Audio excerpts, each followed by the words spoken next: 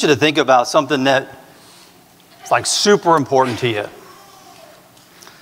Not just average of importance, right? Not just something that's common to you, but something that is valuable. Something that you love, something that you're passionate. Maybe it was a gift that somebody gave you. Maybe, um, maybe it's an ideal or a goal that you have. Maybe it's a special purpose that you feel like you have. Maybe it's something tangible, right? Maybe it's a, a gift or um, something that you made, it's important to you. Maybe it's someone. Maybe it's a family member, a child, or spouse. Uh, maybe it's an animal or a pet. But it's got to be something that you value, that you really, really love. Okay, you got it? You got it in your mind? You kind of have it welling up some emotion in your heart? Okay, we got two questions for you. What relationship is tied to that? What relationship is tied to that? And question two How far would you go if you got separated from it?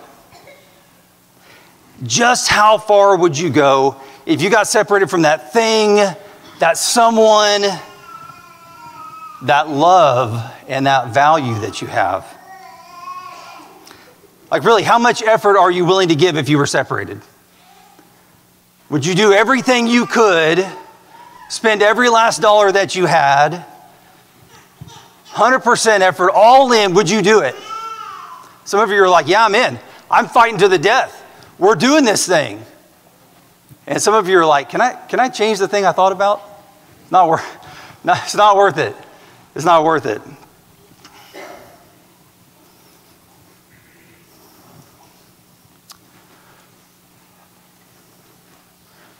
Twenty, 24 years ago, I met this lady, but she didn't live close. It was like four hours away. I calculated 225 miles one way.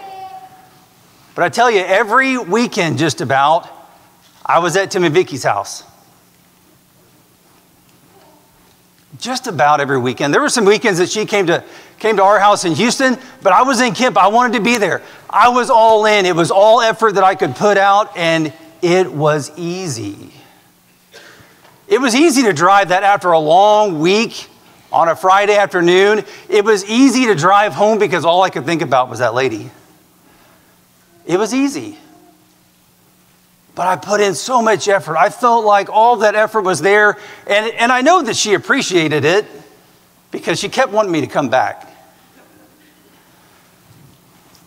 And I think things worked out pretty well.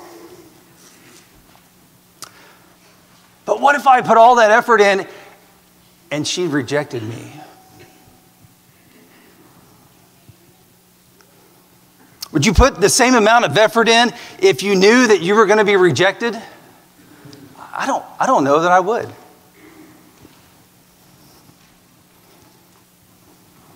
This morning, Adam wanted to start at the beginning, the beginning of us, but I want to go back even further.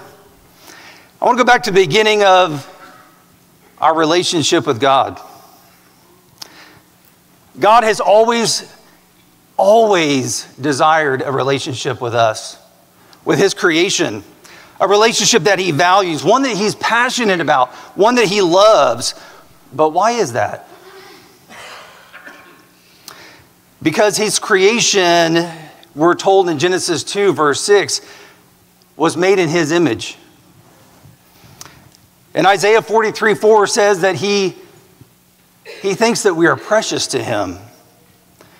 In the Old Testament, we read of how he went to all of these great lengths and so much effort to give us, give his creation, the opportunity to know who he is and to have that kind of relationship with him. But we also see that despite his efforts, his creation oftentimes rejected him over and over and over again. And yet God still loved and pursued and desired that relationship with his creation. If we go back and start in the Garden of Eden, we can see that God made all of these wonderful and beautiful things, not only to His glory, but for these two people that were there. For Adam and Eve, what an amazing place it must have been. I, we can only imagine just by reading in, in Genesis that, that it must have been an amazing place. Every tree that you could imagine that was good to eat they had no worries. They had no worries for food. Everything they needed was provided for. What an amazing place it was, and, and, and maybe still is. We don't know that it was ever destroyed. It was just guarded by angels, right? What provision God made for his creation. The fact that Adam and Eve were able to be there with God, that he walked with them there and had conversation with them you see, that's the kind of relationship that God wants with us, that Yahweh wants with us. One that's close and personal and intimate and spiritual, that He can take care of us, but if and only if we're willing to submit to Him. You see, there was no separation between Adam and Eve and God. They were together and there was harmony, and they were happy, and everything was good. But then, Genesis 3 says that sin came into the picture, didn't it? Satan had a conversation with Eve and then with Adam, and God's creation rejected him. Satan encouraged them to reject God and the requirements of their relationship. He said, Listen, you can be like God yourself, you don't have to submit to Him. And so, what did God do? There were consequences for their actions, and God separated them from the Garden of Eden. No longer could He have that relationship with them. That rejection continued with Cain killing Abel because he wanted to do what he wanted to do and not what God asked him to do.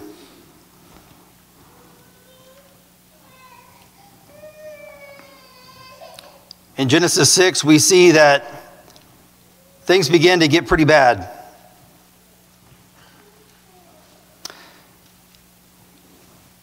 And it says that in verse 5 of chapter 6 of Genesis, the Lord saw that the wickedness of man was great on the earth, and that every intention of the thoughts of his heart was only evil continually. They had rejected God. And the Lord regretted that he had made man on the earth, and it grieved him to his heart. All the effort that he had put out to just try to have a relationship with him, and they rejected him. So the Lord said, I will blot out man whom I have created in the face of the land, man and animals and creeping things, the birds of heaven, for I am sorry that I have made them. But Noah, Noah found favor in the eyes of the Lord. Things have become so corrupt on the earth. This idea of corruption, I, I think sometimes we, we have lost the old definition of it, but it was one of a state of decay, of being rotten or putrid. Can you just imagine how the earth was? Maybe we're getting close. I sure hope not. But can you imagine the corruption that was there if it was just Noah? And so, in choosing Noah, he said, Listen, I'm going to separate you from everyone else. And because of his love and passion and value for his creation, he refined it. He took those that rejected him away and he chose Noah. And God said to Noah in Genesis chapter 6, verse 11, I have determined to make an end of all flesh for the earth is filled with violence. But behold, I will destroy them with the earth. But he also says that through Noah, in verse 18, God says that he will establish his covenant with him. So now a new covenant is made. And we go a little bit further along, and what happens again? I hope some of you younger folks in here are remembering what's happening on your timeline, right? What happens next? Remember the Tower of Babel? Man, I think I've missed a lot of significance over the years about what actually happened here. Maybe you have too. God's creation was at the point where they just didn't need him anymore. Once again, they were rejecting him. Genesis chapter 11 we see that in verse 4, they wanted to make a name for themselves. It was no longer okay to be God's creation, no longer okay to be his children, to be those of his covenant with Noah. It was now we want to make our name for ourselves. And in that region of Mesopotamia, you see a great rejection of God. And they want to go and they want to build this tower so they can be closer to God and live in the heavens just as He is. They want to be like God.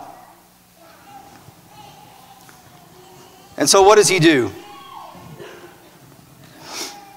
It wasn't enough for His creation to rely on Him, to do the things that He asked for them to do. They wanted to do it themselves. They wanted to be on their own. They didn't need God anymore. And so they said, listen, we, we just want to be by ourselves. We want to do our own thing. And God recognized that. God recognized that in a way where, if we look in, in chapter 11, verse 4, it says, Come, let us build for ourselves a city with a tower with its top in the heavens, and let us make a name for ourselves, lest we be dispersed over the face of the whole earth. And the Lord came down to see the city and the tower which the children of man had built. And the Lord said, Behold, they are one people, and they have one language. And this is the only this is only the beginning of what they will do. And nothing that they propose to do will now be impossible for them. God recognized that they didn't need him anymore. They were self sufficient nor did they want to. And so, as parents, sometimes we recognize that trouble can be had when our children are together. So, what do we do? We separate them. Y'all can't play nice together. Y'all got to. You're on the other side, Veronica. Right? As, as teachers, we have to do that to make sure that things are kept in the right way. And so this is where I think the real effort began because out of God's love for his creation, he changed their languages, didn't he? Hence the term the Tower of Babel. Their, their languages were all different. And he dispersed them each to their own nation, to their own part of the world, because he cared for them. He cared for them in a way because he didn't want them to get in trouble. He didn't want to have another Genesis 6 situation where he had to destroy the earth. He'd already made a covenant not to do that again. And so this is really where God's effort begins. This is really where God's plan of salvation culminates into an even greater story. The story of redemption. And so, through this area of Mesopotamia where this major rejection happened, God goes and he says, Abraham, I want you. I want to draw you out of this area of rejection, this land of rejection, where they don't need me, and I want you to have a relationship with me. I want you to have a covenant with me. And in Genesis 12, he, he refines and purifies that creation again. And he gives three promises, doesn't he? Three promises that we know the land, the seed, and the nation all nations will be blessed. Wait a minute. He, he just separated himself from all these other nations. What is he talking about? We'll get there in a minute. And so we see God's hand in history as we look through the Old Testament. how he chose Abraham, and through his family, we see Joseph going down into Egypt, and how through that covenant, he saved his people, his covenant people, and how God revealed himself to Moses. And with such great effort to pull them from Egypt, he had these plagues that he, that he put through. Think about the effort that God went to to save his people. Can you imagine the effort that he went through to pull them out of the, the slavery and the bondage of Egypt, knowing that once they got out, that they would reject him? And yet, over and over, we see this, this same pattern. God provides for them, He gives them guidance and protection while they're in the wilderness. And over and over again, they reject him.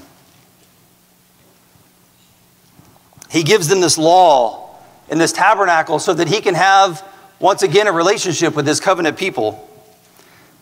And God tells his covenant people in Deuteronomy 4 you've got to do these things. You've got to obey my law because that is how other people and other nations are going to know what kind of relationship you have with me. It's how they will know that you are my people. It's the influence that you will have, and it is the way that you and I can continue to have this covenant. And yet, over and over, God's covenant people reject him despite his care. They doubt that, that they will help him, and so for 40 years, they have to wander in the wilderness. And yet, for 40 years, he cares for them. You would think God would be tired by now you would think his effort would be expended. You would think over and over again that God would be like, What are you doing? I'm putting all this effort out to show you my love and to show you that I, I want you to be in a relationship with me, and yet you keep rejecting me.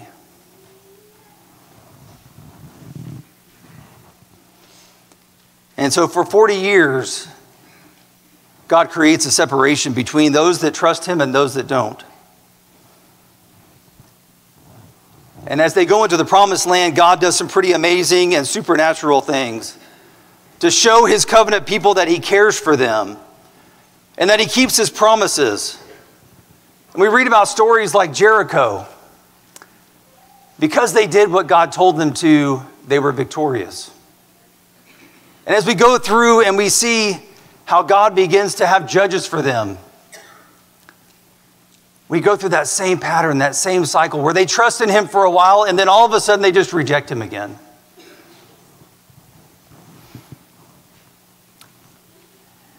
And then the great slap in the face God, we don't want you as our king anymore. We want our own king. We want a human king to rule over us.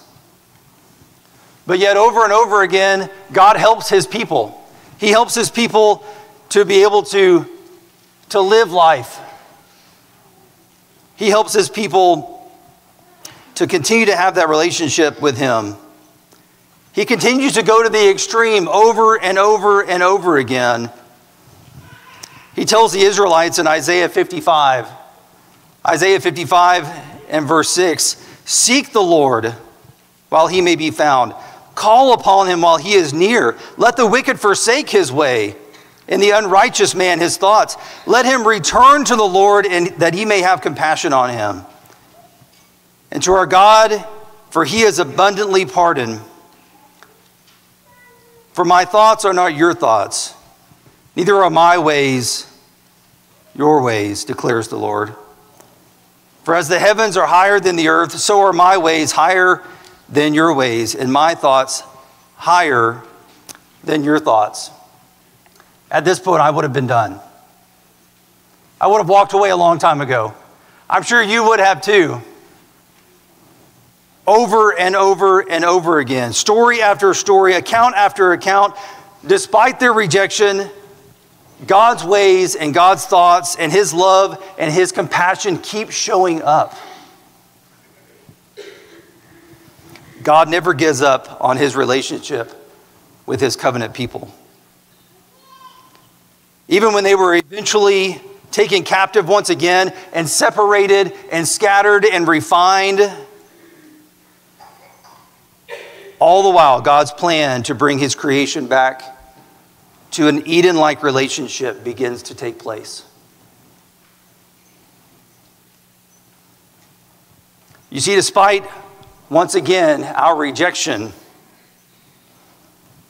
the Son of God, Jesus, is born. God's effort to have a relationship with Him continues through Jesus' life and Jesus' death. God wants to show us how much He loves us, so He sent His Son to live a life, a life of compassion for others, a life of character in the way that God continued to show His character through all of the Old Testament. If we go to John chapter 1, John chapter 1, we see that in the beginning was the Word, and the Word was God, and the Word was with God. He was in the beginning with God, and all things were made through him, and without him was not anything made that was made. In him was life, the life was the light of men. This word was there from the beginning when creation happened. This word was there when man first rejected God. And yet he subjected himself to come to earth. Continuing in verse 9, the true light which gives light to everyone was coming into the world. He was in the world and he was, the, he was um, made through, and the world was made through him, yet the world did not know him. He came to his own, and his own people did not receive him. What? You mean they rejected him again? The Son of God came and they rejected him again? But to all who did receive him, to all who did receive him, who believed in his name, he gave the right to become children of God, to have a relationship with him, who were born not of blood, nor of the will of the flesh, nor of the will of man, but of God. And that word became flesh and dwelt among us. And we have seen his glory, glory as of the only Son from the Father, full of grace and truth.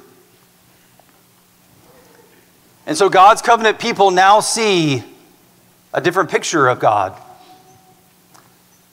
Not one that is high in the heavens that rules, not one that provides miraculously, but one that looks like them.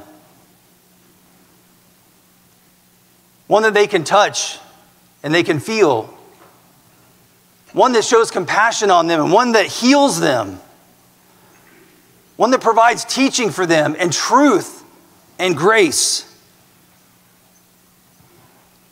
John chapter 3, John chapter 3 and verse 11, we see that even some of the scholars and the teachers, like Nicodemus, struggled with this idea. They struggled with this idea of who Jesus was. John chapter 3, verse 11, it says, Nicodemus said to him, How can these things be? Jesus was saying, Listen, you've got to be born again. You can't live this old life that you've been living of rejecting the Lord. You've got to be born again. And Jesus answered him and said, Are you the teacher of Israel, and yet you don't understand these things? Truly, truly, I say to you, we speak of what we know and we bear witness to what we have seen, but you do not receive our testimony. You reject it. If I've told you earthly things and you do not believe it, how can you believe if I tell you heavenly things? How can Jesus describe to Nicodemus this relationship, this Eden like relationship of intimacy and conversation? He wouldn't understand it. No one has ascended into heaven except he who descended from heaven, the Son of Man. And as Moses lifted up the serpent in the wilderness, so must the Son of Man be lifted up, that whoever believes in him may have eternal life. For God so loved the world that he gave his only Son, that whoever believes in him should not perish but have eternal life. For God did not send his Son into the world to condemn the world,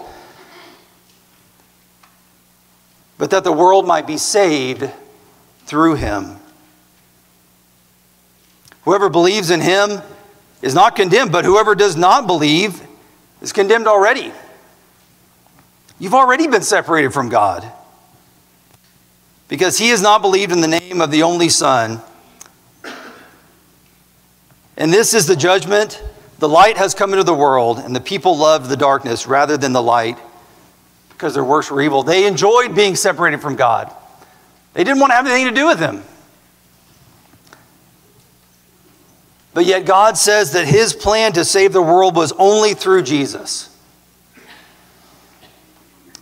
Talk about effort. That's not just effort, that's sacrifice. That's giving up everything. Were you there at the beginning? We talked about that thing that was so valuable for you. Were you like, yeah, I'm all in, I'll give everything for it? Jesus' love for you and I is even greater. To the point where he gave his only son, his only son for us. Turn with me to Romans chapter 5.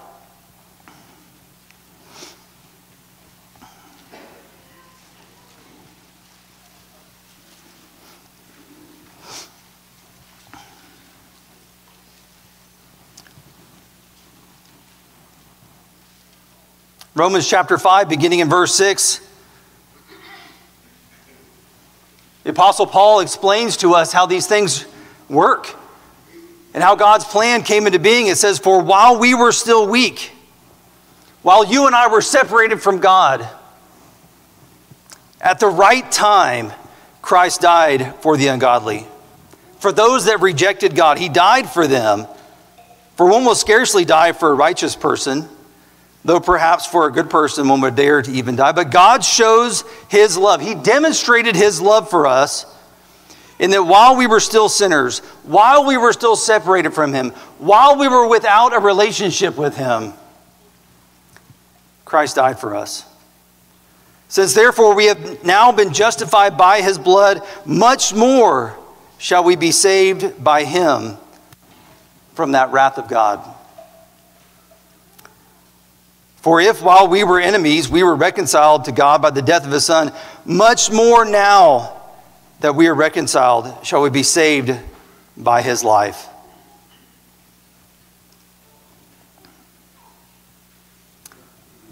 Paul understood what God was trying to accomplish. He understood that God's desire was for you and I to have a relationship with him, for his covenant people to come back to him and have that relationship with him for his creation to be drawn back to him.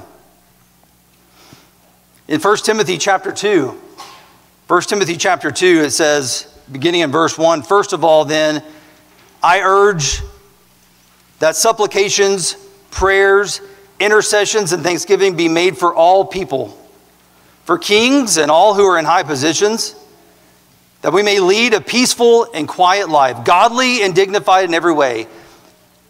This is good and is pleasing in the sight of our God, who desires all people to be saved and come to the knowledge of truth.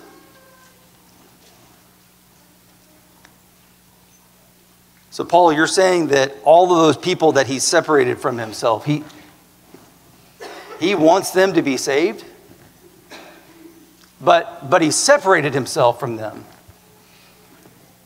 He, he had to. God in his righteousness had to do it because of his love for us and because of his love for his creation. But yet he desires that all people come to the knowledge of who he is and to his truth. And that truth is that he wants to have a relationship. For there is one God and there is one mediator between God and men the man Christ Jesus, who gave himself as a ransom for all, which is the testimony given at the proper time. So, when was that time? When was that proper time? This is where it really gets cool.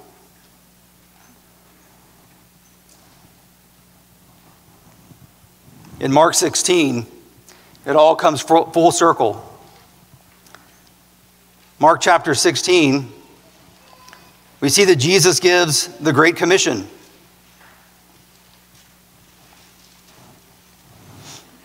And in verse 14, it says, Afterward, he appeared to the eleven themselves as they were reclining at the table, and he rebuked them for their unbelief and hardness of heart because they had not believed those who saw him after he was risen. And he said to them, Go into all the world.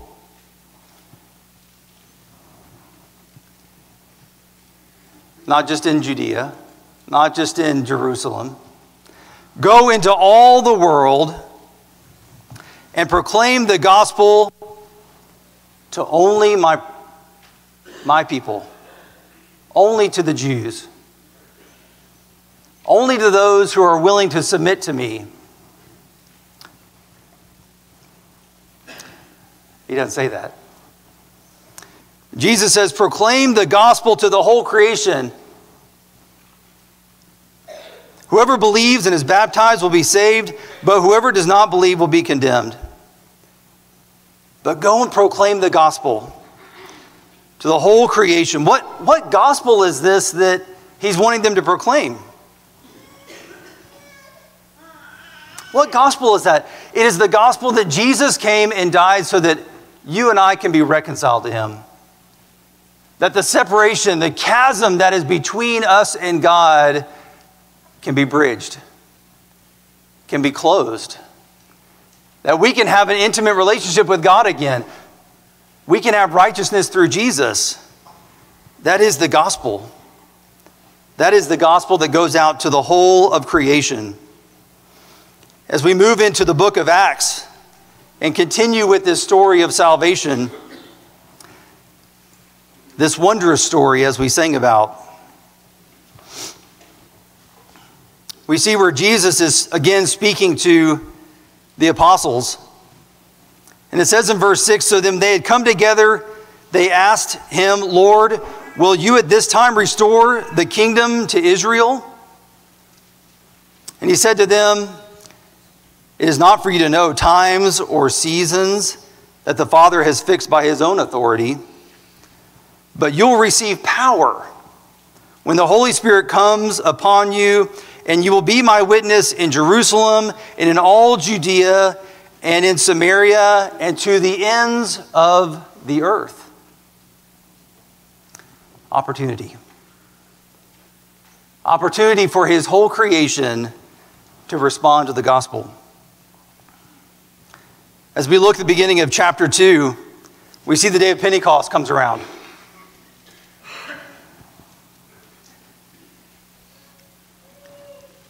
And as we look here in, in verse 1, it says, When the day of Pentecost arrived, they were all together in one place. And suddenly there came from heaven a sound like a mighty rushing wind, and it filled the entire house where they were sitting. And divided tongues as a fire appeared to them and rested on each one of them. How about you? But there's some effort involved in that. To make all that happen, so that the credibility can be seen that they are speaking on God's behalf.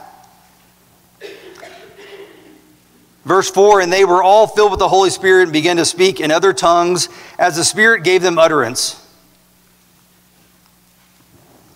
You see what happened there? Remember back, way back in Genesis, how God separated and divided his people? Those people that were working so closely together to create corruption and evil. And he changed all their languages so that they couldn't communicate. And they couldn't create even more evil, and he separated them out. And now, on the day of Pentecost, what does God do? He unites them again. He provides an opportunity where they can all hear the same gospel being preached all in their own language. What an amazing thing. What an amazing opportunity for you and I to respond to that gospel that was preached. Such effort on the part of our Lord to pursue us that we might hear him. And so Peter begins to preach his sermon to them.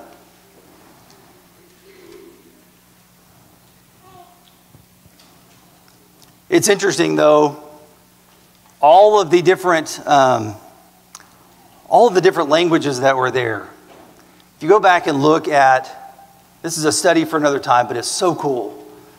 If you go back and look at all the languages and all the places where they came from, all of these Jews that came to the day of Pentecost, it, it matches up with where they went after God changed their languages. So cool that God was able to do all those things in His power, in His might, to show that He is the one working, that He wants to have that relationship with those people, that He wants to have a relationship with us. And so, so Peter begins to preach to those people. Those people who had come in from afar off,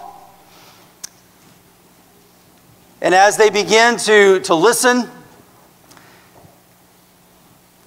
he talks about their separation, their separation from God and the lives that they've lived. And I tell you what, there had to have been something there that touched each one of them.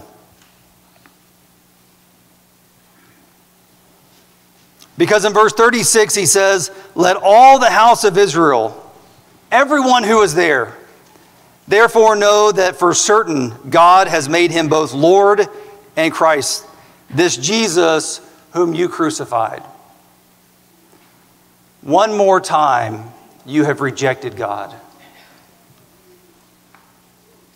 Over and over and over again, God has provided for you. And again, he brings his only son to you, full of mercy, full of compassion, full of love, and you crucified him. And verse 37 says, Now when they heard this, they were cut to the heart. And Peter and the rest of the apostles, they said to them, Brothers, what shall we do? And Peter said to them, Repent be baptized, every one of you, in the name of Jesus Christ for the forgiveness of your sins, and you'll receive the gift of the Holy Spirit. For this promise is for you and to your children and to all who are far off, everyone whom the Lord God Himself calls, to the ends of the earth.